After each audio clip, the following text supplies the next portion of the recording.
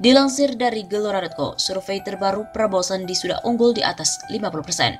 Fenomena migrasi suara terjadi jelang detik-detik pemungutan suara Pilpres 2019.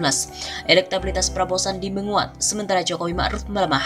Banyak calon pemilih paslon 01 berpindah dukungan ke paslon 02. Demikian rilis Lembaga Riset dan Pemantau Pemilu New Indonesia merilis hasil survei Pilpres 2019 pada Senin 1 April. Hasilnya elektabilitas Prabowo Sandi 51,8 persen dan Jokowi Ma'ruf 44,2 persen.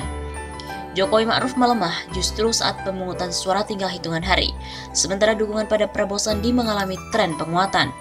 Kata Direktur Eksekutif New Indonesia David Hairantula di Jakarta, survei New Indonesia dilaksanakan pada 10-21 Maret 2019 di 34 provinsi di Indonesia.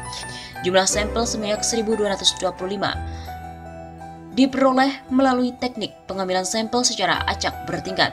Survei dilakukan pada tingkat kepercayaan 95% dengan margin of error, lebih kurang adalah 2,8%. Survei juga dilengkapi dengan riset, kualitatif dan kajian terhadap media. David Hairantula menjelaskan dibandingkan hasil survei New Indonesia pada akhir tahun lalu, peningkatan elektabilitas Prabowo Sandi melesat jauh. Desember 2018, Jokowi Ma'ruf 49,8 persen dan Prabowo Sandi 42,3 persen.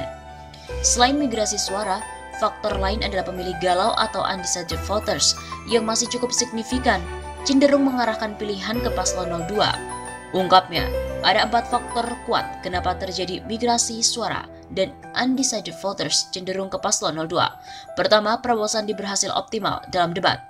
Kedua, petahana gagal memenuhi janji kampanye Pilpres 2014 dan itu mudah dilacak di digital. Ketiga, isu penyebar hoax yang dialamatkan tim kampanye Jokowi Ma'ruf kepada kubu Prabowo Sandi justru kontraproduktif. Keempat, masalah kesulitan lapangan pekerjaan dan mahalnya harga-harga kebutuhan pokok sembako benar-benar dirasakan publik.